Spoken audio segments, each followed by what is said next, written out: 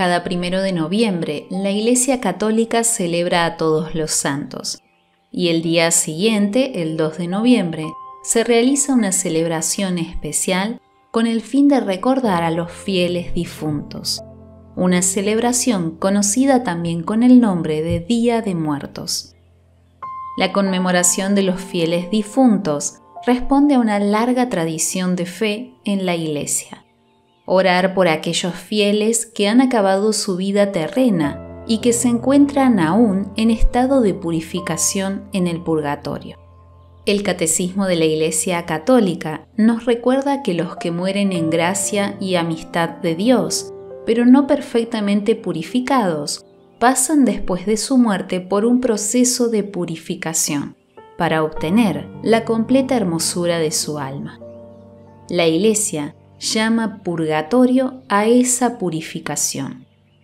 La tradición de rezar por los muertos se remonta a los primeros tiempos del cristianismo, en donde ya se honraba su recuerdo y se ofrecían oraciones y sacrificios por ellos.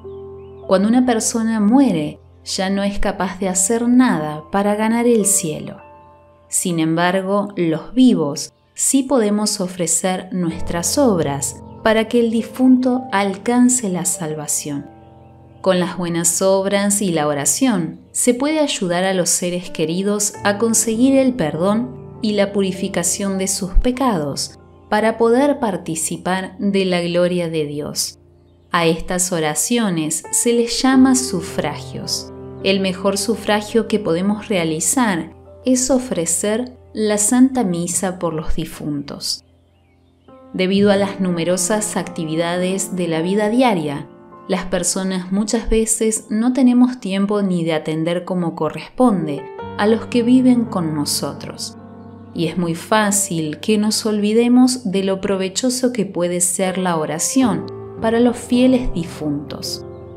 Esta es una de las razones por las que la Iglesia ha querido instituir un día, precisamente cada 2 de noviembre, para que se dedique especialmente a la oración por aquellas almas que han dejado la tierra y aún no llegan al cielo.